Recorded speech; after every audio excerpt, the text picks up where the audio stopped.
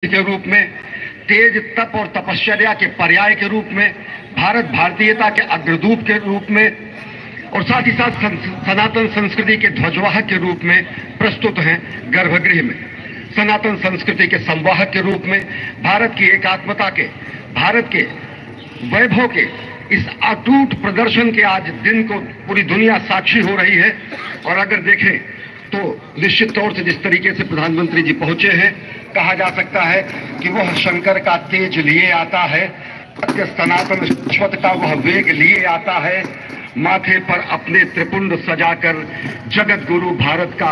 संदेश लिए आता है। और वह संदेश है, वसुधैव कुटुंबकम का वह संदेश है, सर्वे भवंत सुखिना का वह संदेश है क्रीड़वंतो विश्वमार्यम का वह संदेश है वयम राष्ट्रीय जागृयाम पुरोहिता का, यानी कि हम राष्ट्र में जागते रहें और राष्ट्र निर्माण में हम संलग्न रहें। आज इतिहास लिखा जा रहा है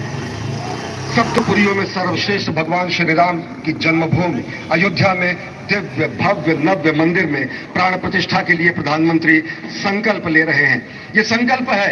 उन हुतात्माओं के लिए, ये संकल्प है उन बलिदानियों के लिए, ये संकल्प है उन राम भक्तों के लिए, ये संकल्प है भारत भारतीयों के लिए, ये संकल्प है सनातन संस्कृति के लिए, ये भारत के जगत गुरु स्वरूप का भी संकल्प है और आज हम साक्षी